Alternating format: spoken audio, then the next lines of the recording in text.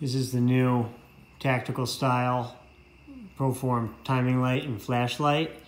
It's pretty sweet. It's all billet aluminum, really nice black anodized finish. I like it. It's got a nice stout feel to it. Um, this is the flashlight button here, and it's it's really bright.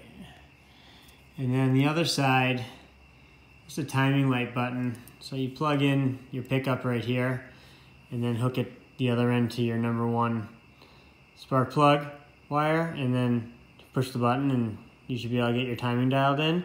It's rechargeable, which is pretty sweet, which means like, you know, the battery's gonna hold its charge for a super long time. It's LED, so hardly ever drain.